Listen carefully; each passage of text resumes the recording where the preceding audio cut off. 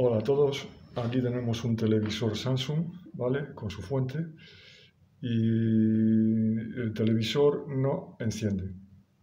Típica pantalla negra y que hace sonidos, ¿vale?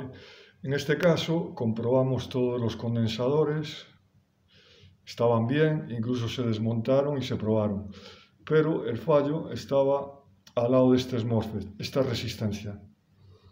Esta es la original, ¿veis?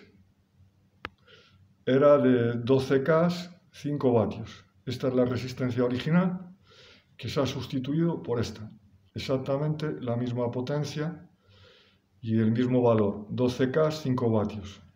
Revisamos todo este condensador, este, este, este, y tiene todos los voltajes. Tiene 25, tiene el de 5 y el de 12.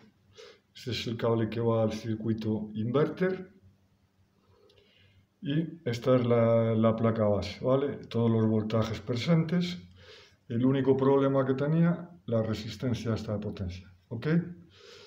Pues la vamos a la vamos a probar, a ver. Bueno, y aquí la tenéis.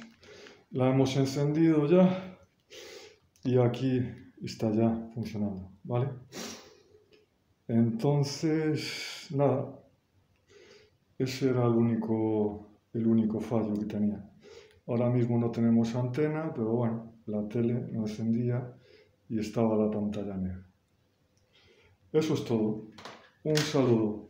Gracias.